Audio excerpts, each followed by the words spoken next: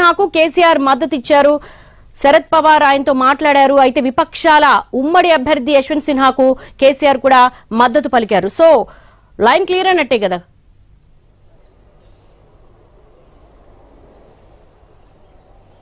Yeah ఖచ్చితంగా ఏదైతే ఇప్పుడు కేసీఆర్ స్పష్టత వచ్చిందంటే వాళ్ళు కూడా ఎదురు చూస్తున్నారు అంటే కేసీఆర్ ఎందుకు మౌనంగా ఉన్నారు ఈ విషయంలో ఇప్పటి వరకు ఎందుకు స్పష్టత ఇవ్వలేదని చెప్పి వాళ్ళు ఎదురు చూసినటువంటి పరిస్థితి ఫైనల్గా వీళ్ళ అభ్యర్థిని ఫైనల్ చేయడము యశ్వంత్ సిన్హా పేరును ప్రతిపాదించడము అభ్యర్థిగా నిలబెడుతున్నామని చెప్పడంతో అటు టీఆర్ఎస్ నుంచి కూడా మా మద్దతు యశ్వంత్ సిన్హాకు ఉంటుందంటే మద్దతు పెరిగిందని చెప్పుకోవచ్చు అంటే ఇప్పటి వరకు అటెండ్ అయినటువంటి పద్దెనిమిది పార్టీలే కాదు ఇప్పుడు పంతొమ్మిదవ పార్టీగా టీఆర్ఎస్ కూడా వచ్చి చేరింది సో ఇప్పుడు కేసీఆర్ కనుక అంటే ఒకవైపు మమతా బెనర్జీ కావచ్చు శరద్ పవార్ కావచ్చు వీళ్ళందరూ విపక్షాలను ఏకం చేసే ప్రయత్నం చేయడంలో ముందున్నారు అదే సమయంలో కేసీఆర్ సైతం గత కొన్ని రోజులుగా బీజేపీకి వ్యతిరేకంగా తన ప్రయత్నాలను కొనసాగిస్తూనే ఉన్నారు అన్ని పార్టీల నాయకులతో ఈ ప్రయత్నాన్ని ముందుకు తీసుకెళ్తున్నటువంటి పరిస్థితి కనిపిస్తుంది సో మరింత ఖచ్చితంగా ఇప్పుడు కూడా వీళ్ళ తరపున అన్ని పార్టీలతో మాట్లాడే ప్రయత్నంతో పాటు ఢిల్లీకి కూడా వచ్చి ఇక్కడ నుంచి అవసరమైతే ఇతర పార్టీల నాయకులతో మాట్లాడతారు ఇతర రాష్ట్రాలకు కూడా పర్యటిస్తారని చెప్పి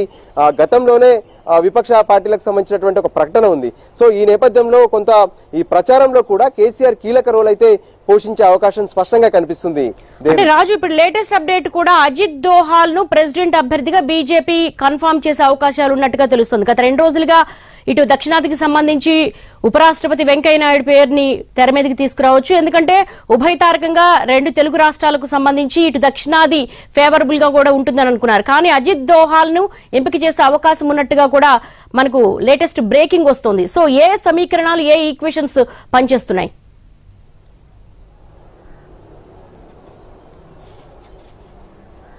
ఇప్పటి వరకు మనం చూస్తే ఉపరాష్ట్రపతి వెంకయ్యనాయుడు ఇంటికి ఏదైతే కొద్దిసేపటి క్రితం అంటే రెండు గంటల క్రితం అటు JP Nadda BJP chief JP Nadda దాంతోపాటు హోంశాఖ మంత్రి అమిత్ షా రక్షణ శాఖ మంత్రి రాజ్నాథ్ సింగ్ కూడా వచ్చి భేటీ అయినప్పుడే ఈ రేసులో ఉపరాష్ట్రపతి ఇక రాష్ట్రపతి రేసులో ఉండకపోవచ్చు అనే క్లారిటీ మాత్రం అక్కడే వచ్చింది ఎందుకంటే నెక్స్ట్ ఆప్షన్ ఖచ్చితంగా ఉపరాష్ట్రపతిని రాష్ట్రపతి చేయొచ్చు అని చెప్పి అందరూ భావించారు కానీ అవసరమైతే ఉపరాష్ట్రపతిగా కొనసాగించవచ్చు లేదంటే ఇంకేదైనా బాధ్యతలు అప్పగించవచ్చు కానీ ఇప్పుడు మాత్రం రాష్ట్రపతి అవకాశం ఇవ్వడం లేదనే విషయాన్ని మాత్రమే అటు తీసుకెళ్లే ప్రయత్నం చేశారు అయితే పార్లమెంటరీ బోర్డు సమావేశం ఈరోజు నిర్వహించుకోబోతున్నాము దీంట్లో ఖచ్చితంగా ఏదైతే క్యాండిడేట్ కి సంబంధించినటువంటి ఫైనలైజ్ కూడా చేస్తామని చెప్పి రాజు మీరు ఒక్క నిమిషం హోల్డ్ లో ఉండండి టిఆర్ఎస్ మద్దతుపై శరద్ పవార్ ఏమన్నారు ఒకసారి చూద్దాం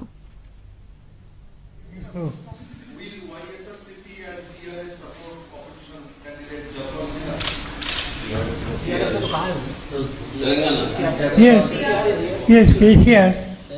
KCR, yes, Telangana. Yes. Yeah, yeah, they are so good. I talked to them personally and they supported. Supported this hope.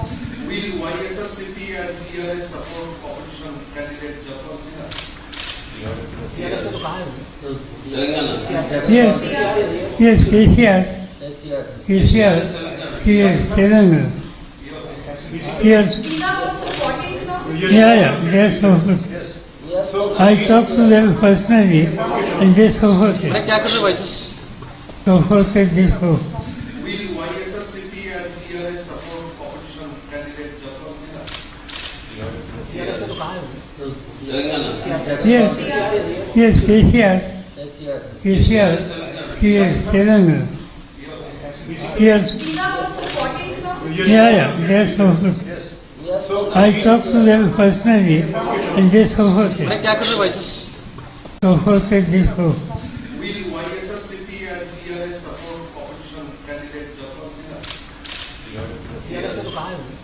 Telangana. Yes, yes, KCR. KCR. Yes, Telangana. Yes.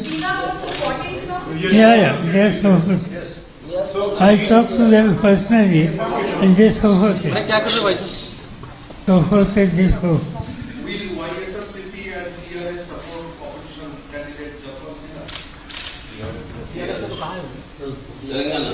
Yes, yes, Yes here. He's here.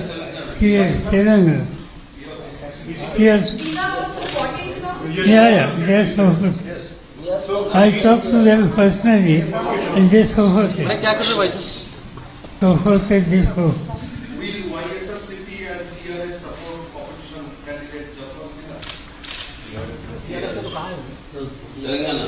Yes, yes, KCR. KCR. He is Telangana.